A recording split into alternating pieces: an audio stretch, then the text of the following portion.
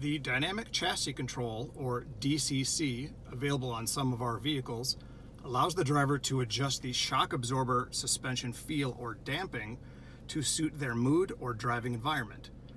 In the custom mode that I've selected here, you can slide the adjuster switch all the way over to extreme sport mode, which will be extremely rigid and firm, or if you're traveling over some bumpy roads or have other people in the car, you can set it for extremely comfortable or soft.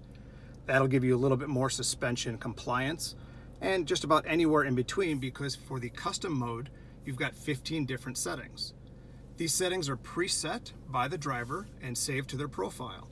However, to change on the fly, they can also select their driving modes like comfort, normal, or sport, and the dynamic chassis control will be predetermined based on that mode selection. If they want to do a little bit more fine tuning while stationary, they can preset how they like it, and the damping control will be really soft or really rigid based on their style.